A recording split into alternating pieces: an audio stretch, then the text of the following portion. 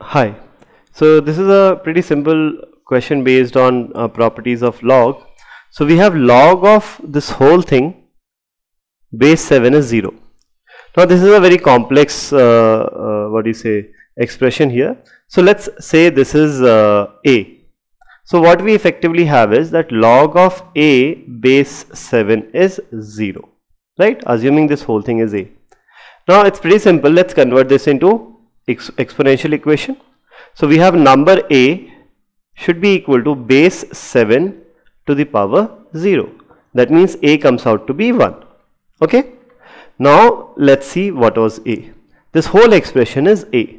So a is nothing but log of square root of x plus 5 plus square root of x base 5 is equal to 1 okay now again we have log of an expression base 5 is 1 so let's convert this into uh, exponential equation. So we have this is the number this is the base and this is the power.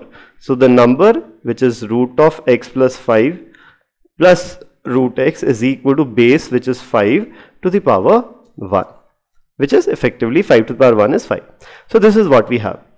Now either you can solve this sorry this must be x here not 5 we have x here right so now either you can solve this by taking square uh, on both the sides and then forming and then you'll have to take uh, do square again but that is a, a slightly lengthier and more calculation intensive method what you can do is you can simply substitute or check options and see which option would satisfy this equation.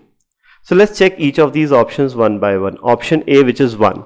So we'll have root of 1 plus 5 is root 6 plus root of 1 is 1. Is it equal to 5? No, it is not equal to 5. Hence option A is rejected. Option B. Uh, option B here is root of 0.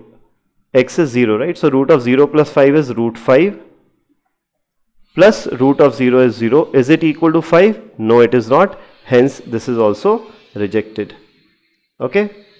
Next, uh, let's check for option C, which is 2. So, we have root of 2 plus 5 is root 7 plus root of 2. Now, is it equal to 5? Obviously not. These are two irrational numbers and this is a rational number. So, not equal to 5. So option A, B, C, none of them satisfies this equation, uh, this particular expression. Hence option D is the right answer. Now if you want to figure out what is the actual value of x, let's see. For that what we'll have to do is we'll have to take square of this equation.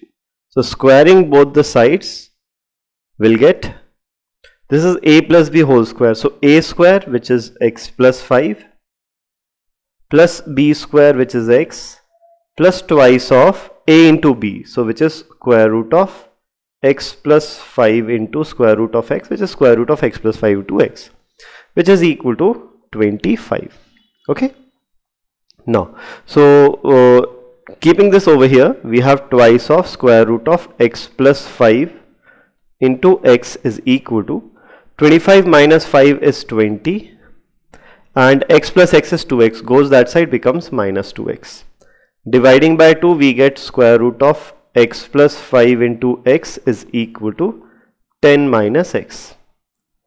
Now again taking square both the sides this part will become x plus 5 into x which is equal to a minus b whole square is a square plus b square minus twice of a into b which is minus 20x and this effectively is x square plus 5x which is equal to 100 plus x square minus 20x x. square x square cancels out. Minus 20x comes on the left hand side becomes plus 25x which is equal to 100 hence this gives us that x is equal to 100 by 25 which is 4 x equals to 4 is the right answer of this question.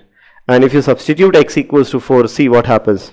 If x is 4 4 plus 5 is 9 square root of 9 is 3 plus square root of 4 is 2 and 3 plus 2 is equal to 5 which satisfies.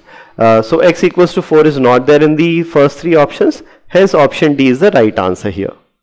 Thank you.